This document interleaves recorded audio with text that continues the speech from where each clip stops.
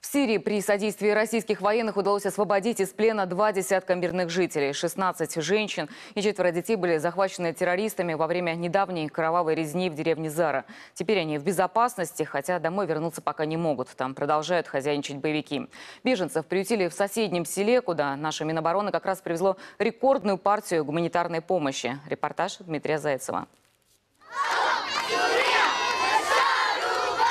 Они устали от войны. С портретами своего президента жители небольшого сирийского села выходят на главную площадь. Так здесь приветствуют правительственную армию и российский гумконвой. Представители российского центра по примирению враждующих сторон в Сирии привезли в этот населенный пункт рекордное количество гуманитарного груза. Кроме уже привычных продуктовых наборов, сегодня всем нуждающимся раздавали еще и хлеб и муку.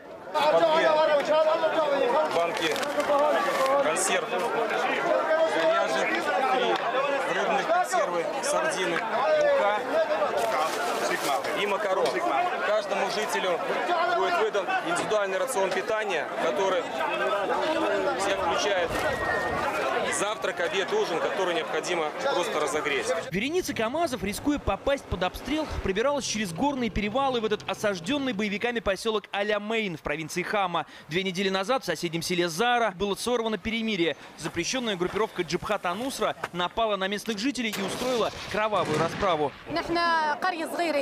Они начали ровно в 4 утра на нас посыпались ракеты, снаряды. Ужас, что творилось. Люди бросали свои дома и убегали босыми. Но некоторым не повезло. Их догнали боевики и казнили. 60 человек из числа местных были убиты, 30 террористы взяли в плен. Сейчас Зару полностью контролируют боевики. Те жители, кому удалось бежать, нашли временное пристанище здесь, в Алямейн, в 10 километрах от своих разрушенных и разграбленных домов. Российской стороне удалось убедить боевиков отпустить женщин и детей. 20 человек спасены, но переговоры продолжаются. Сабхия ждет весточки от своей сестры. Та до сих пор в заточении. Ни предложений о выкупе, ни угроз расправы от боевиков не поступали. В этом доме лишь ждут, надеются и верят. За пять лет войны мы потеряли все. Когда в наш поселок вошли боевики, пришлось оставить свой дом и бежать к родственникам в Хомс. Затем вернулись к себе и снова были вынуждены бежать. У меня был инфаркт. Думала, умру во время операции на сердце. Недостроенный коттедж семью Хатуш поселили знакомые. Ютиться приходится всем вместе в одной комнатке. Брат Сабхи Мохаммед, отставной офицер правительственных войск. Оставить службу пришлось после гибели третьего сына. Внуки теперь на нем. Старший сын был убит еще в январе 2013-го. Он служил в сирийской армии. У него остались две дочери. Спустя полгода убили второго моего сына, тоже солдата. И прошлой осенью боевики взяли в плен моего младшего сына. Долго пытали его, затем отпустили, и он умер у меня на руках.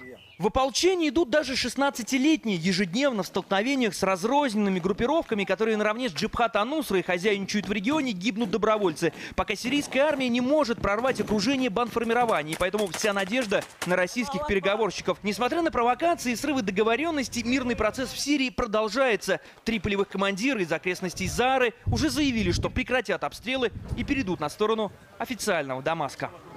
Дмитрий Зайцев, Вячеслав Архипов, Игорь Львов. Первый канал, Сирия.